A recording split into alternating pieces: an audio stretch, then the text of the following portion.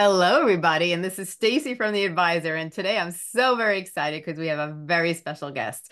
His name is Corey Poirier, and he is an author and he is just written a book and he's going to talk about some of the topics in the book because it's just amazing. He talks about abundance the importance of saying no and many other topics that you know we may not think are a big deal but they affect our life tra tra uh, traumatically. And just by making some little tweaks in our lives here and there and changing things around you could ha actually have the life you always dreamt of. And corey's going to talk a little about all these things that really matter and that you really should focus on. So corey tell everybody a little about yourself and what you do.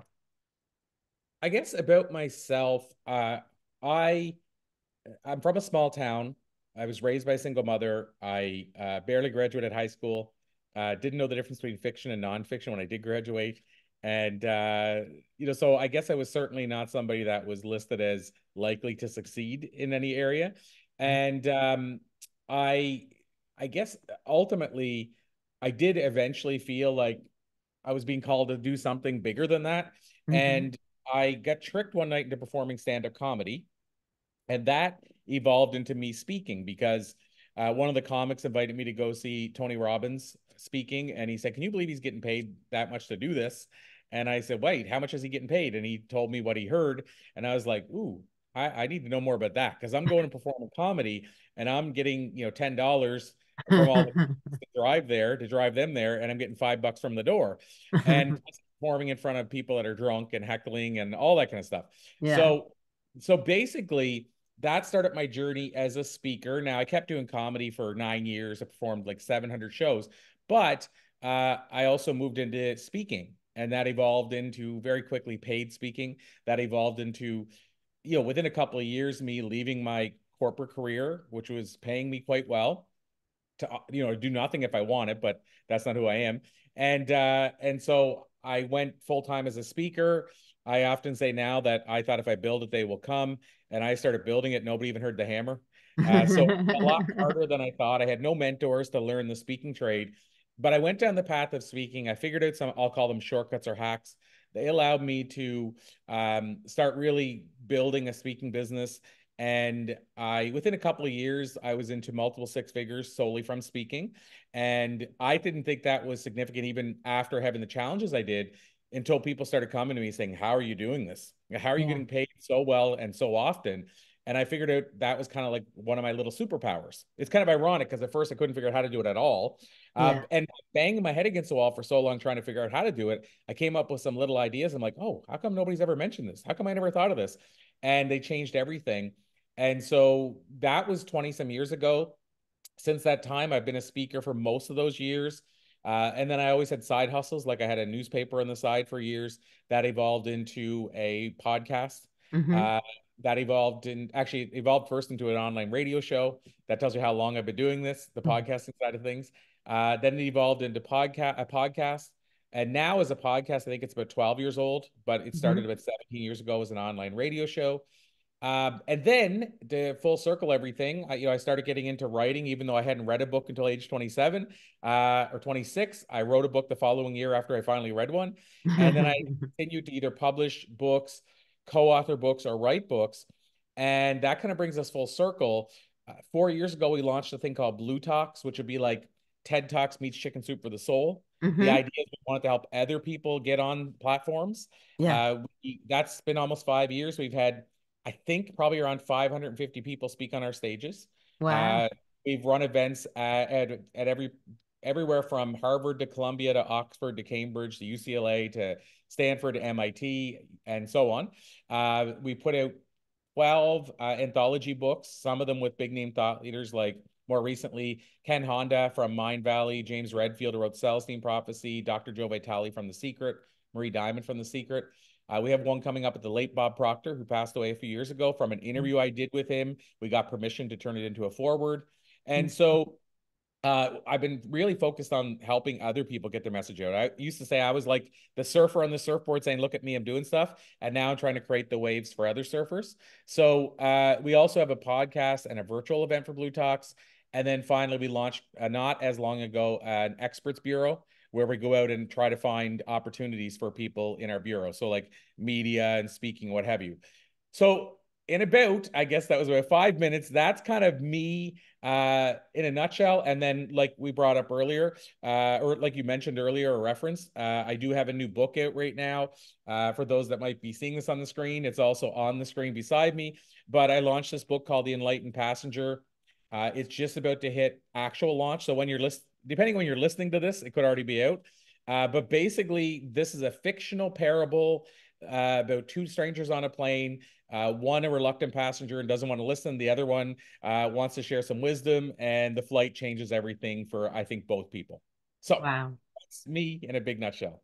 I love it. I love it. And what I love is that you took your passion and you made it become a reality, which is, you know, is is so many people's dreams. So many people, you know, they they they, you know, it, it's so hard even to figure out what your purpose in life is. They have passions and, you know, people people strive almost to the middle of their lives trying to figure out what their purpose in life is. You know, what were they meant to be? What were they meant to do in this life? What gives them enjoyment?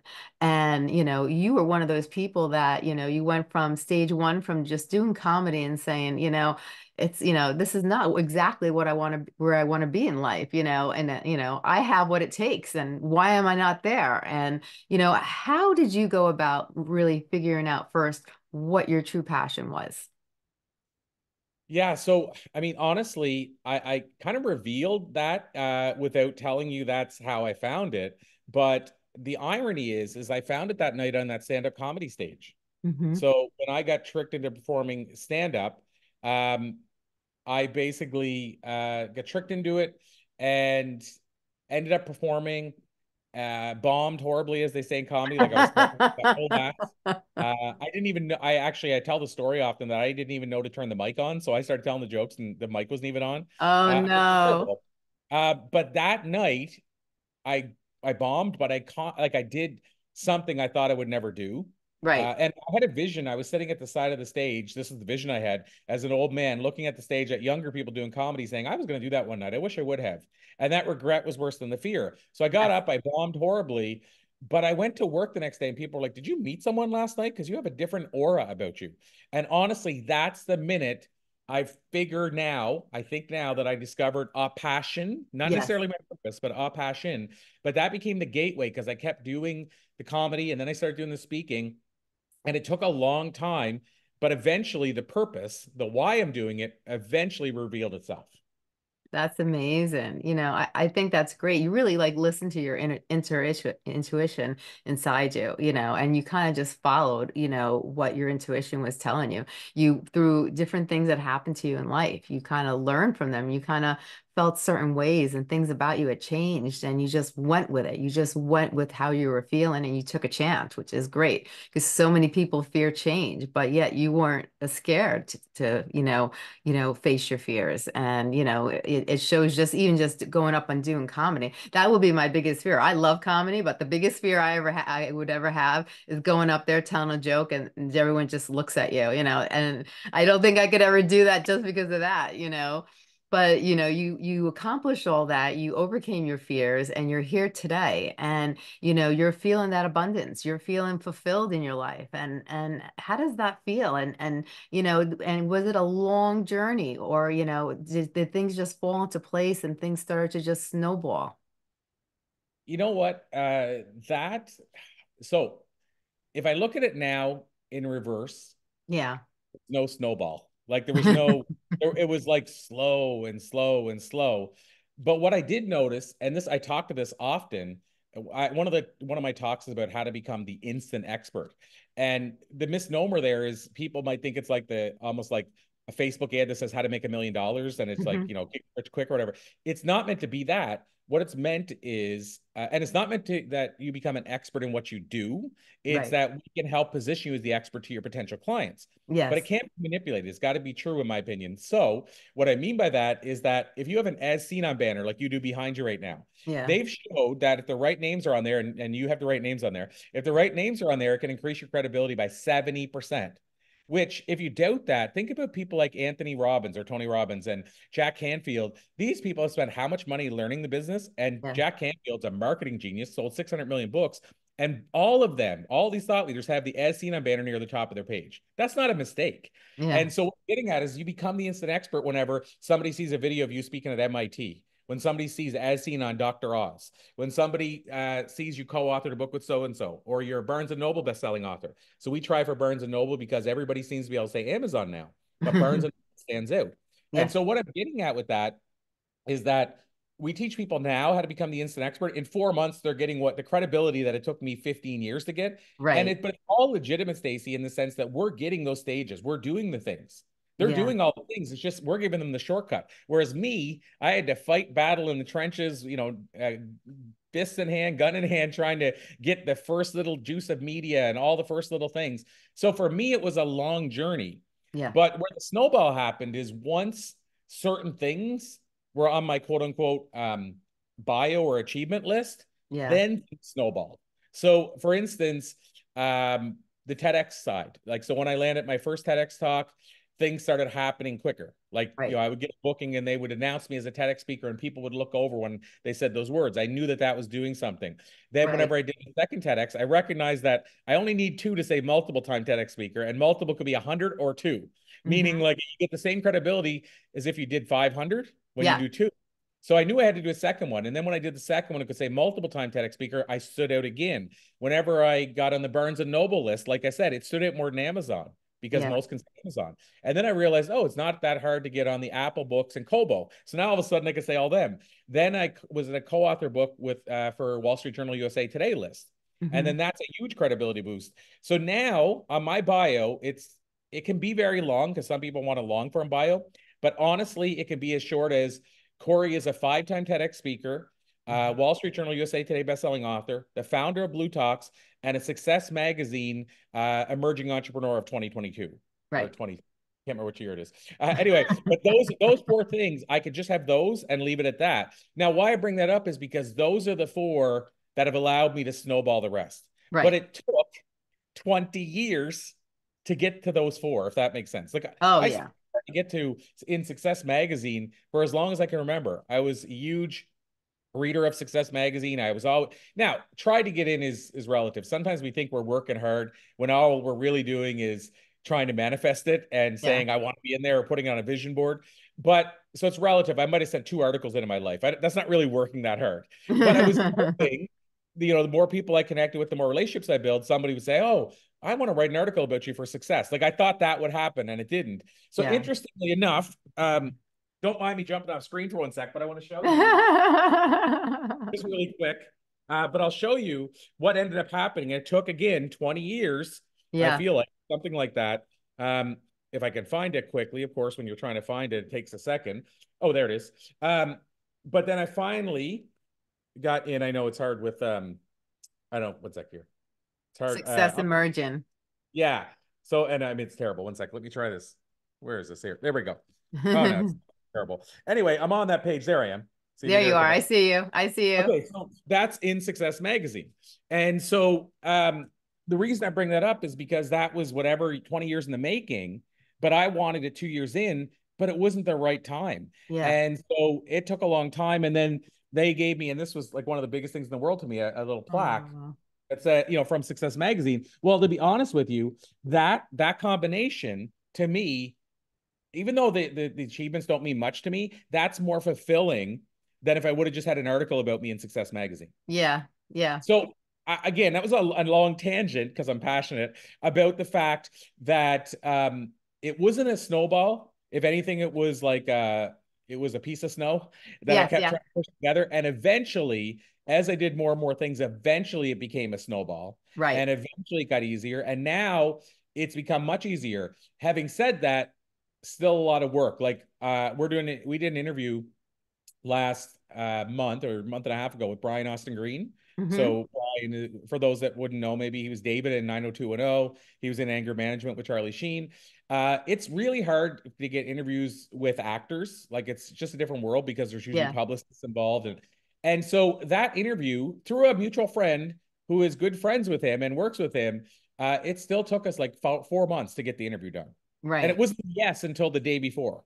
Mm-hmm. So he messaged me the day before. He said, "Oh my god, I, I feel uh, we should I picked this conversation back up. I said, You're not going to believe this, but we're running an event at UCLA tomorrow. You want in? That's how it happened. But wow. it was four months, nobody's seen behind the scenes of trying to make that interview happen. And now we're doing an interview for the book. I'm bringing them on for an event, him and Randy Spelling. So we're doing like a 90210 type thing. Oh, nice. Um, we're going to do a live event and the cost to get in will be a cost of my book, basically. Um, but my point is the second time was easier because now we have a relationship. Right. So again, I know I went on a big tangent, but yeah, no. it hasn't been instant snowball, but over time it gets slightly easier.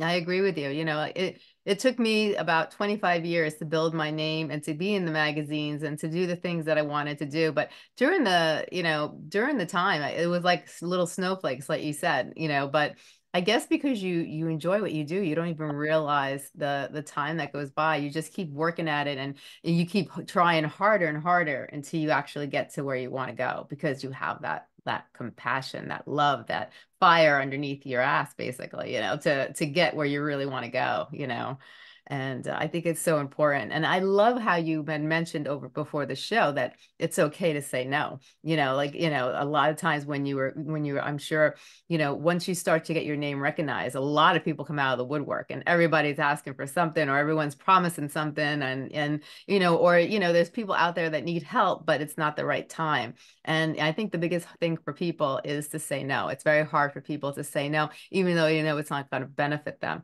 Can you go into a little bit more about the importance of being able to say no? Uh, yeah, I absolutely can. And uh, to your point, uh, it, it, you do see a shift happen. Now, I want to add too, um, even the things that I so casually talk about now. This mm-hmm. is something that people might not know because sometimes people say, "What? What's something people don't know about you?"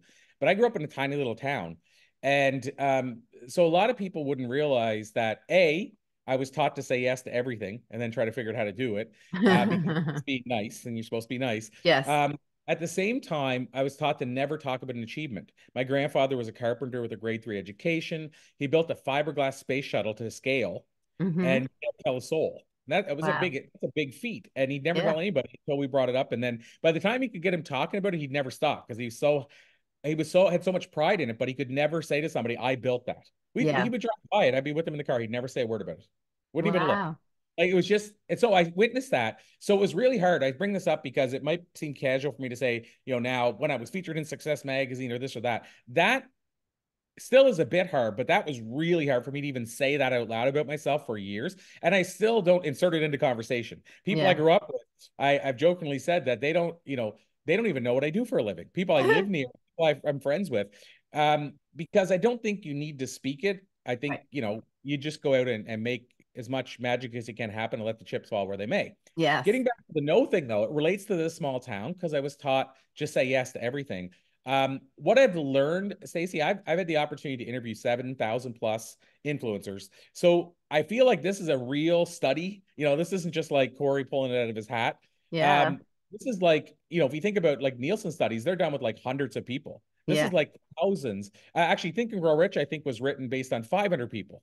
You know, mm-hmm. the book sold 100 million copies and impacted millions of lives. Yeah. Uh, so I think 7,500 roughly is a good study. And what I discovered is that the average person says, uh, well, I'll say it this way: the in, average influencer that I've studied says no 20 to 50 times more than the average person. Wow. Now, the key things are though, what do they say no to, and how do they know what a no is? Right. Uh, how do they say no without burning a bridge? Mm-hmm. and and so on. And and then we could even go one step further because depending on who's listening, if you're an entrepreneur, a no is going to be different because you can say no a lot easier than if you're working for somebody else. Yeah. So I want to make it clear. I'm not saying Corey says say no to your boss not only that, it's easier to say no about moving the furniture to a, a, a good friend than mm-hmm. it is to a spouse who you're moving with. Right. You know, so there's, there's levels of no but I want the takeaway to be is that we need to figure out what a yes and a no is to us and and start saying it more openly. Yes. And like I said, if you want to join people that are impacting a lot of lives, you have to do to some degree what they're doing. Right. And I was saying yes way too often. And going back to that other point, yeah, the requests come in a lot more uh, as you push that snowball up the hill. So, for example, right now I'm sitting on two people asking me to endorse their book. Uh, four nice these are ones I've basically said yes to yeah um uh four people i haven't said yes to these ones four people asked me to write the foreword for their book you know and it's funny because uh, it used to be people would say, "Hey, can you give me uh, Lisa Nichols' phone number so I Mhm. can uh, reach out to her and see if she'll endorse my book?" And Yeah. and that's a word no, by the way. But um, that uh, that people would ask that because they they didn't care about me endorsing the book or foreword, and now I'm getting those requests. And so it's the same thing. There's two sides to that. On one hand, if you endorse the book, you get more exposure. If you write the foreword, you get more exposure. And if if it happens, I mean, there's not a lot of books that go viral these days, but if the book went viral and you wrote the foreword, you're along for that ride. Yeah. So saying no can be hard. If I was just starting my journey, I, I would never say no to writing a foreword. Right. But now writing a foreword takes a lot of time. It does. It does. And so you have to know what to say no to. And I've had um, people um, that, you know, fairly big names that I built strong relationships with that have said, no, Corey, I can't do it. I don't have the time. yeah. And, you know, and I, I have to respect that because I've learned that it's important to say no, even when it's hard to say no. yeah. Um, but then also at the same time, if you keep building those relationships, sometimes you might be surprised. For instance, uh, Richard Paul Evans, who wrote the Christmas box, wrote the foreword for the new book. Uh, Richard told me he hadn't written a foreword for somebody in 13 years Hmm. because of how much work it takes to write a foreword. Yeah. And and he said it's like I'm writing a whole book because that's Yeah. how much. I should say that's how much he care he puts into writing the foreword. Right. Not how much he Exactly. And I think he did write one other one more recently as well. But my point being is that um, I, that means he probably had to say no numerous times, even though he really wanted to say yes. So Right. that's just a random example, but there's media I have to say no to. There's uh, opportunities where maybe there's an investment involved, but years ago it would have been I'll pay anything to get this opportunity, and now I have to say no.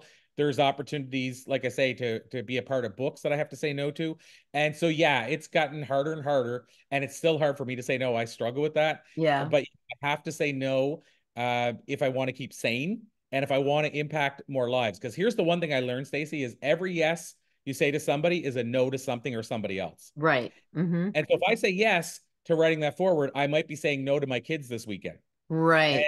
So you have to do look at it that way. Uh, since we've gone this far, are you okay with me telling people how I decide what a no is and how to say no? Oh, a hundred percent. Go ahead. So it's fairly straightforward. Um, I'll say it's fairly straightforward. It, once you get, um, you know, I'll say get used to the idea of figuring out what your purpose and mission is. Um, so basically, for me, uh, my purpose and uh, mission is to be the guy who motivates, donates, inspires, educates, and entertains. And so for me, what that means is that's my five point system. It's what my personal mission statement is. And so when people say, Can you do this for me? hmm I put it against those five points. Is it going to help me motivate? Is it going to help me donate? Is it going to help me inspire? If it's zero of those, and I didn't want to do it in the first place, it's an easy no without regret. If Yeah. it's four or five of those, it's mostly going to be an easy yes without regret, unless I have too many of those four and five out of fives. But Yes. for the most part, that's an easy system. You figure out what your mission is. Like, I want to be the best parent.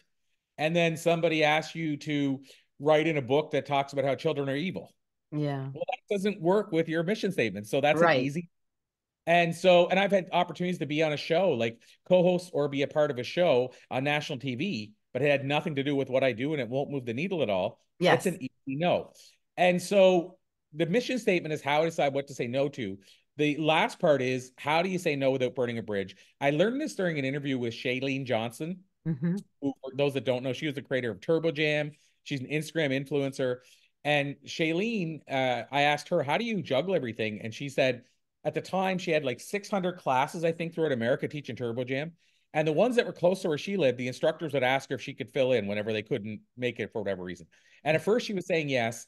And then she realized it was overwhelming her. So what she did was she said, which is true, you know, we're a very family oriented business mm-hmm. and I'm very family first. So she said, I need to ask my husband, Brett, before I take this on, if we can take this on. And, Right. and make sure he hasn't booked something else that I'd be saying. If I say yes to you, I don't want to go home and then disappoint my kids. Yeah. And so she said, if it's okay with you, give me a couple of days with this. And if I can't do it, I'll try to find somebody else who can. And what she said happened is 99% of the time, by the time she went back, they're like, I already got that figured out. That's old news. So already got figured out for her. Or the other side is, um, you know, she did find somebody that could help them. But here's the point how can you get mad at somebody who's saying, I just need to make sure I won't be disappointing my kids? Right. Exactly. So whatever that is for you, if you don't have a family, you figure out what that replacement is, but figure out what you are saying no to that you don't want to say no to whenever you say yes to somebody else and figure out a way to explain to them, this is why I have to at least take some time. Yeah. So versus like, it, would be easier to pull off the band-aid and just say, I'm sorry, no. But right. no matter how you say no to that person that's asking, it comes across as, I can't believe they let me down or what have you. Right. So to me, ask for time.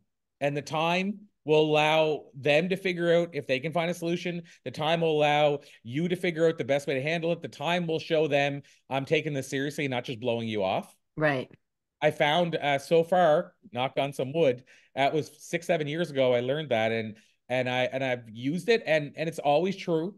I don't mm-hmm. know when my wife is going to schedule. We have a six and a three year old, and I don't know when she's going to schedule stuff. So truly, it could interfere. And so right. that's so. Hopefully, that's a summary of why you should say no. Yes. What's a yes, and how to say no.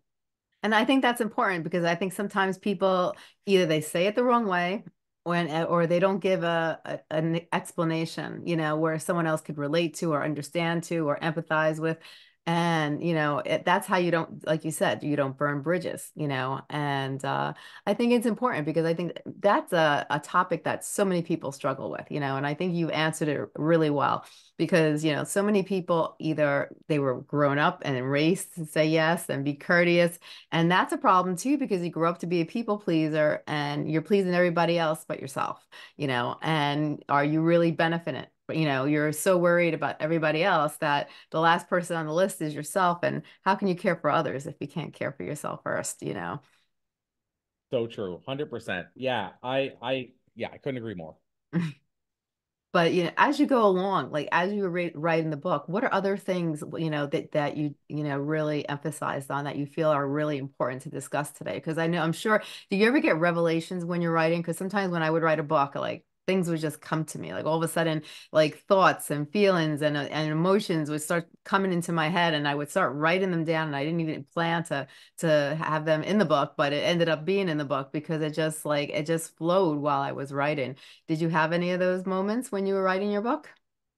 Uh i mean so for me i'm i'm a unique i'm going to say type of writer in the sense that for me the challenge and i don't want to jinx myself so i even feel bad saying it sometimes but I'm a writer that it feels like it's sort of channeled through me. So I haven't yet. I'm gonna knock on some wood. And I started writing music, for instance, when I was 12, mm-hmm. and I mm-hmm. haven't yet had writer's block. So okay, I haven't yet had a t- like so if I sit down to write, as long as I have so with the book, I had an idea. So I had a start and a finish. I knew what the beginning and end would be. Uh, I have written books where I didn't know any of that. I just said I wanted to be about this and sat down. In any of those times, I've been served what I was looking for. Yes. And so for me, I don't really get pulled away much because like when I'm actually writing the book, I'm immersed in the characters. Like in this case, it was characters. What my previous book was called The Book of Why and How. That was a nonfiction. But even in that case, I get immersed in building this thing from scratch, let's say. And so no, I don't really get pulled in other directions. Right. Uh, when I'm writing music, like if I'm writing music, some of my best songs were written in eight minutes, 5 minute mm-hmm. songs. So like no thinking about what rhymes with orange. Yeah. I just sat down and, and by the way, nothing rhymes with orange. Um, and, and, so, you know, from that end, um, yeah, it all just uh, seemed to flow. But yeah, I didn't have other necessarily ideas as I was doing it. For me, more it was about writing it, and then I would start thinking about how can I market it with how I'm writing it. So, like, mm-hmm. I, will give you an example of something that uh, just came to me um, recently but it was about um, how can we promote the book and get the attention of some thought leaders that normally wouldn't maybe pay attention. Yeah. And so things we did was we printed off airplane tickets and they say from wherever you like wherever that person lives. So if it was Los Angeles, from Los Angeles to Enlightenment, and mm-hmm. has your name and your seat and all that. And it mat it's on brand with the colors of the book. So we have a mail that we're doing probably tomorrow with 75 of these thought leaders. But we went uh, one step further. We actually thought about okay, well, who was impacted by The Alchemist? Like what celebrities have said The Alchemist changed my life? Because it's a book similar to The Alchemist. Yeah. And so we're trying to think, well, if, if you like The Alchemist, we need to get you to open the book to see.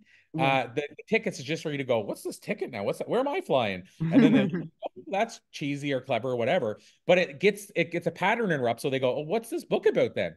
We don't know if it'll work, but my Right. point is the kind of things that'll come to my mind while I'm working on a book. Yeah. More so I'll write notes about what I want to do in the marketing, uh, more so than other ideas outside of the book, if that makes sense. Oh, it makes total sense. Now, ha have there been certain things that you've done that you've helped that's helped your growth and helped your career so you could uh, actually evolve and elevate to levels where you could really help the large group of people that you're helping right now? Um, yeah, I mean, so throughout, I- so I'll say one of the things that's helped me a lot is because I've done all these interviews and I've studied the thought leaders uh approach to things, habits, what have you. Those are the things that I've applied. So if I learn something from somebody, I I would say I'm going to execute this and see how it works for me. Right. And that's allowed me to impact other people because I'm studying at the feet of these giants and trying to learn what they did and test it in real time so then I can teach it to other people and share it with other people. So for instance, um, Jack Canfield talks about the hour of power. And so I did that for years. I mean, I got to get back to it actually. But basically, the premise was the first hour of every day before he touches his phone or anything else, Jack dedicates 20 minutes to reading, 20 minutes to exercising, and 20 minutes to meditating I like before that. distractions. And so I always say, like, he's feeding his mind, body, and spirit before most people wake up. Yeah. And so when I learned that, and then I I started applying it in my life. Another one, I don't think I have it in front of me here. I know it's somewhere here on the table, the office desk. Uh, but I have this chip I did, uh, two actually, poker chip, and it says E plus R equals O.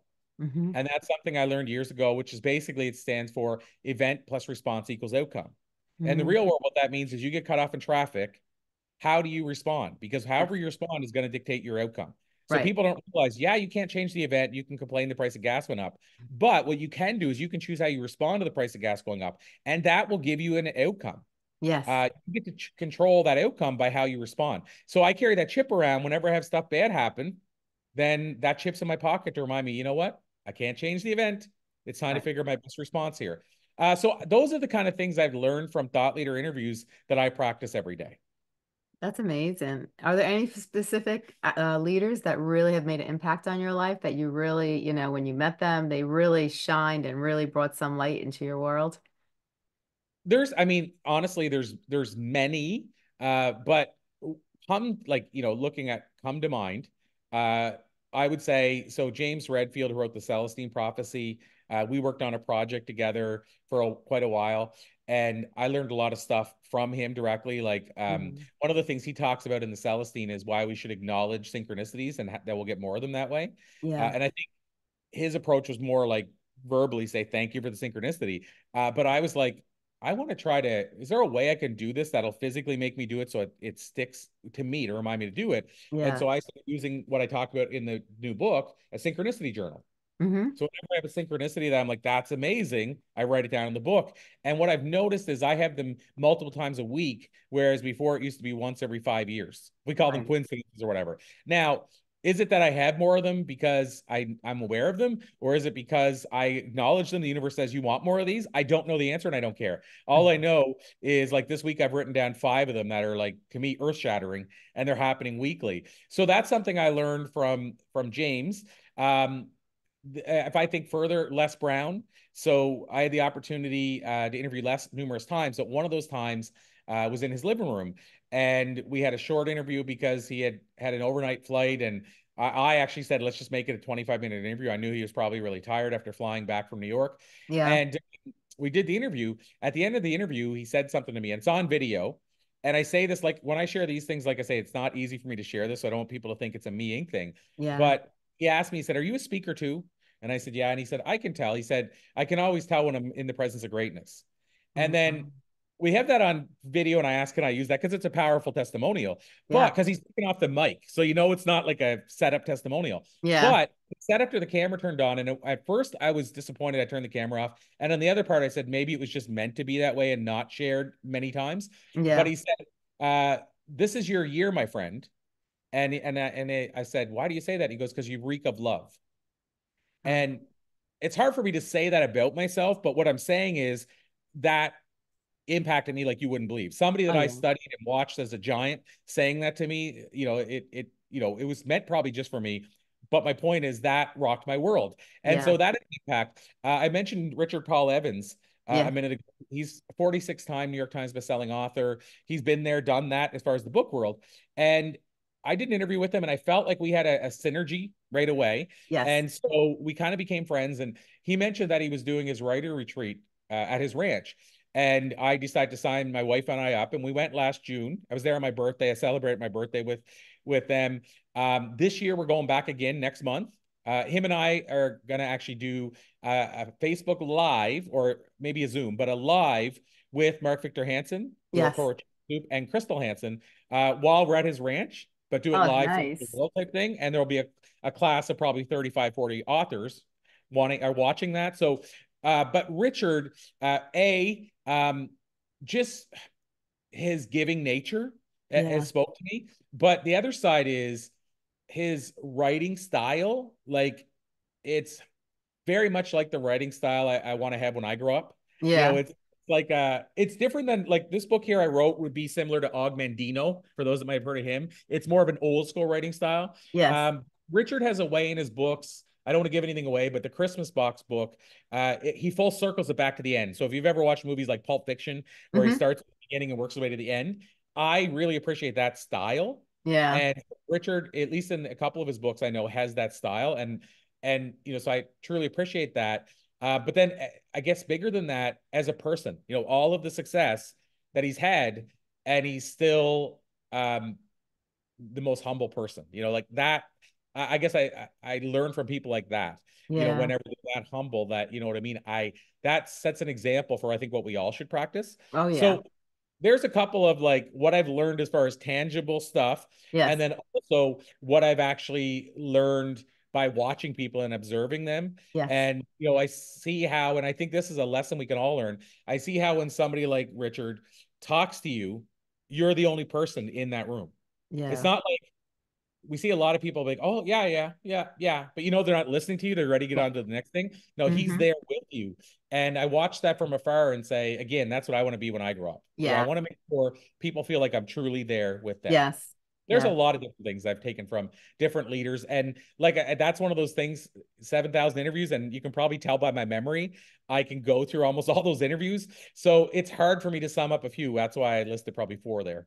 No, that's that's amazing. I love it. I love it. And and it's really good to when you meet lead thought leaders or if you read about them or if you study them, you do really you learn a lot of great things from it. You know, you could pull certain qualities or characteristics that they do that you feel are so beneficial and incorporate them into your own personal way of doing things that can enhance your own you know, career or your personal life even. And, you know, just the way you do things or you think of things or, you know, it could have a hum humongous impact. Now, if you wanted to take today's conversation and you wanted to like emphasize on a few things, what are some of the things you really would like the readers to, uh, you know, really understand or learn from?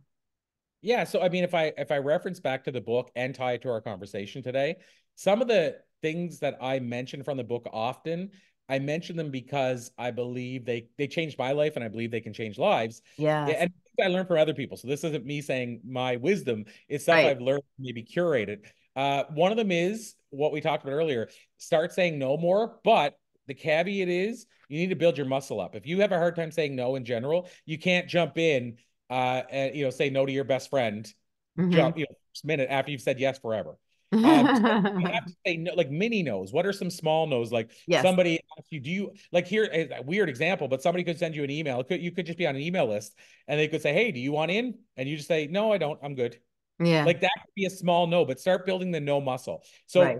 the takeaway is start saying no, but the other start is start small. The other thing is write a personal mission statement, even if it's not fully done yet, meaning just write stuff down and say, I want to be an amazing this. Yes. And then you can make it better later. But and I have it folded and it's put in my wallet. Fold it and put it in your wallet, carry it around with you. And every now and then revisit what is my mission? And that'll allow you what to know what to say no to, but also it'll help you feel like you're more aligned in life. Yes. Uh, one of the other things that really fascinated me when I learned about it, so I'll share this from the book that we didn't talk about today, um, is the mayfly. So there's a chapter in the book called the mayfly, yes. and actually a fly. Uh, but a lot of people don't know its story. And the story is it only lives 24 hours. Okay. However, that's the male. The Oh, female, three to five minutes. Oh, really? Her whole life is just born, procreate, die. And so, but the males is 24 hours. So I use the 24 hour side to say, if you were the mayfly and you had 24 hours today to live, what would you do in those 24 hours? Wow. So in the book, one character asks the other character, "What would you do?" And he starts going, "I'd learn to play guitar. I'd do this. I'd call my old girlfriend." And he said, "In your 24 hours, you know, maybe, how would you do all that?" But secondly, so I got him to be more realistic about what he would do. And then when he listened, he goes, "Well, here's my question for you. Why aren't you doing that now?" Right. So what that is is map out your perfect day. Yeah. What's your perfect day? And honestly, that can be different every day. Yeah. But what's your day look like today? Right. based on your feeling, your vibe, or what have you. So those are some takeaways from the book that we cover. Of course, the book is fic- fictional, so it's like it's loosely based on my life, but it's a parable Yes. where these things are revealed in story and narrative. Yes. So it's almost like uh we're I hate saying this word, but we're tricking you into learning. You Yeah, know, yeah, yeah. Uh-huh. The Alchemist, that's what I feel happened. I get tricked into learning. Yeah. For Paulo Coelho for tricking me into learning. And so that's kind of the idea is that some of these things I'm sharing, I'm sharing them now practically because I've applied them to my life. Right. But I'm saying in the book, you'll learn them through a story and hopefully an enjoyable story. But those are three things that popped into my head immediately when you said, you know, what's what's some takeaways from today? Right. That's wonderful. I I think those are great takeaways. I can you tell us some of the um services that you provide also and where we can find you? Yeah. Um, so so services basically I, I kind of mentioned off the top that we have this Blue Talks brand.